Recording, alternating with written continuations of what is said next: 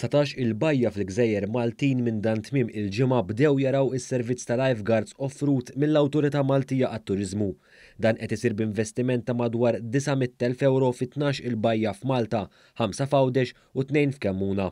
Fost il-bajjiet f'Malta b'lifeguard hemm dawk tal-Għadira, Golden Sands u l-Bajja ta' San Ġorġ, filwaqt li f'Għawdex is-servizz huwa offrut fost oħrajn fir-Ramla l-Ħamra u Ħondoq ir-Rummien.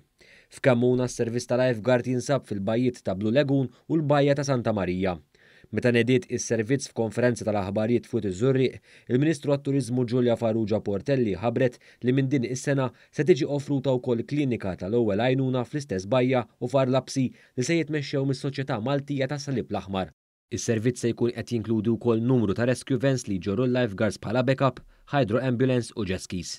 Dan se jikkumplimenta l-ħidma ta' Beach Supervisors tal-Awtorità Maltija għat-Turiżmu li kull sena jkunu fuq il-bajjiet biex jassiguraw li l-protokolli jkunu mħarsa.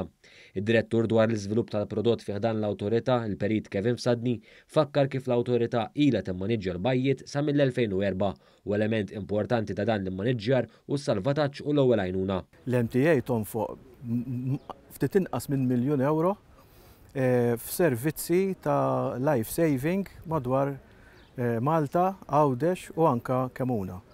Biex inkomplu nżidu das-servizz, dis-sena għall-ewwel darba ddeċidejna li nestenduh.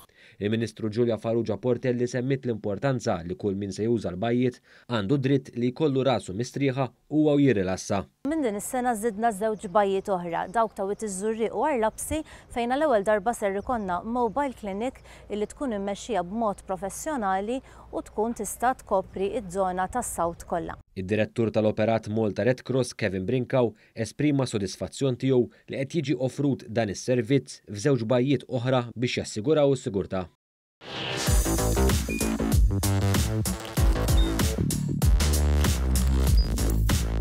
Idħol fuq one.com.mt u hemmhekk tista' tara l-programmi kollha li jxandru fuq One permezz ta' One Play.